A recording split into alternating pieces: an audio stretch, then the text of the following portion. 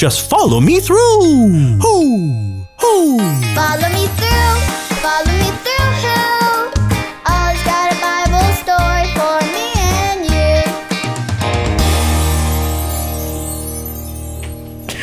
Oh, hey, friends. I'm Justin the Mailman. Look at all of these letters I have today friends on a trip, birthday cards. Oh, and this one is a get well soon card from one sister to another. That reminds me of today's story. Are you ready for it? Great. I'll just put the story mail in the mailbox and.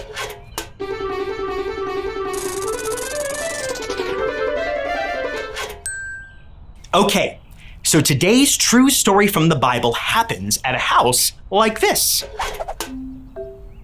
Two sisters lived there, Mary and Martha, and they were friends with Jesus. One day, they heard Jesus was coming to visit them at their house. They were so excited, and Martha ran off to get everything ready. Do you like to have friends over at your house? Me too! What do you like to play? Uh, raise your hand if you like to color with your friends. Oh, that's so exciting!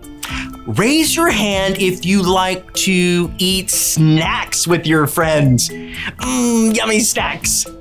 Raise your hand if you like to play outside with your friends. That's so great. It's so good to spend time with friends. As soon as Jesus got to Mary and Martha's house, Mary sat right down at his feet. She wanted to hear everything Jesus had to say.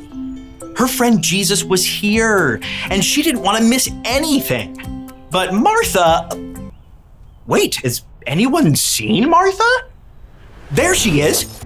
Oh, now she's gone. Martha was very busy. She was here. She was there. She was cooking and cleaning. She was trying to make everything perfect because she loved Jesus so much. And finally, she went to Jesus and said, Make my sister help me. I'm doing all the work. But Jesus told Martha that spending time with him is the best thing to do. She didn't need to be worried about the cooking and the cleaning. He just wanted to spend time with her.